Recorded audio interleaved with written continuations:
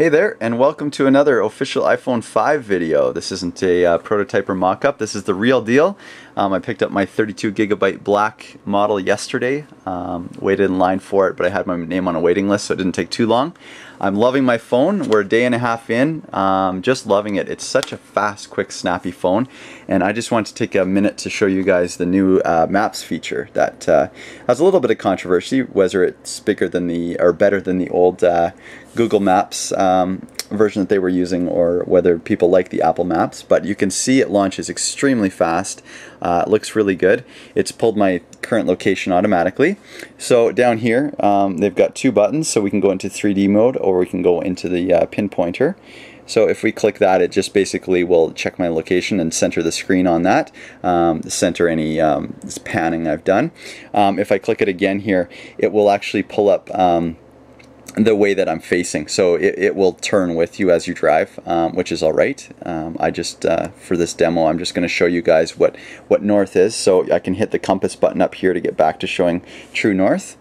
And uh, there's a 3D view, like I said. So if I, uh, well, first I'm going to pan to downtown here. Um, this is Calgary, Alberta, Canada. So as we can see here, there's, uh, sorry, this is a little hard to do without looking.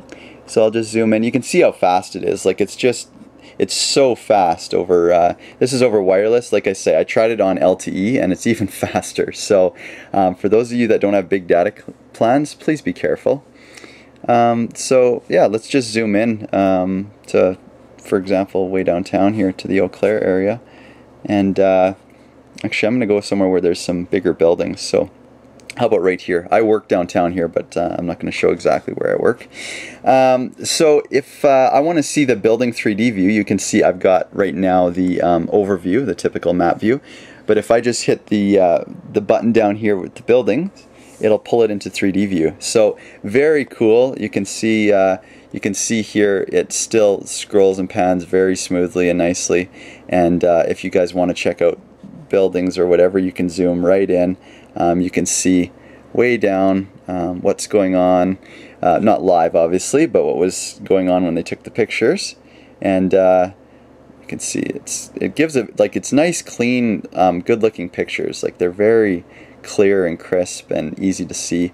Um, so you can definitely go visual um, very easily. So that 3D feature is pretty cool. Um, now, is that useful when you're driving? Well, that's up for debate. Uh, it's maybe not so useful as, as as much cool. But if you are in a new city and you're confused about where you are and what buildings look like, then you could definitely do this visually. All right, so you can see at the top, there's uh, you can type in or search an address that you want to go to. Um, or you can hit this uh, this button in the top left here and this will bring us up to uh, be able to put in a start and end location. Um, so you can see at the top you can do it uh, turn by turn based on a vehicle or pedestrian mode or uh, public transportation. So I've just got the, the vehicle put in there.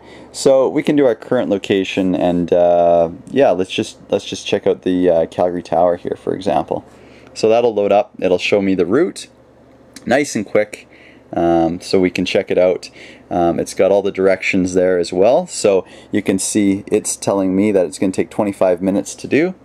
And so if we hit start Starting here, route to Neff Avenue Southwest. So there we go. It's Head east on Prestwick Circle Southeast.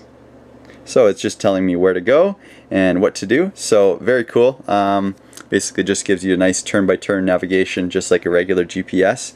And uh, we can end this and uh, yeah, you can see there's the Calgary Tower. So the Calgary Tower actually in 3D view I would like to see. So let's take a quick look, here. This is a little bit hard to do one-handed with the video camera. But you can see there's the, the Calgary Tower right there. And uh, that's kind of just a famous landmark for those of you who haven't been to Calgary before. Um, yeah, so that's the new um, 3D uh, maps feature, the turn-by-turn -turn navigation uh, built into it. I really like it so far. Like I say, it's uh, pretty quick, pretty snappy, pretty fun to use. So check it out. Let me know what you think. Um, please check out my videos above for all my other iPhone 5 videos. And uh, please comment and rate below. Thank you for watching and hope you have fun with your iPhones.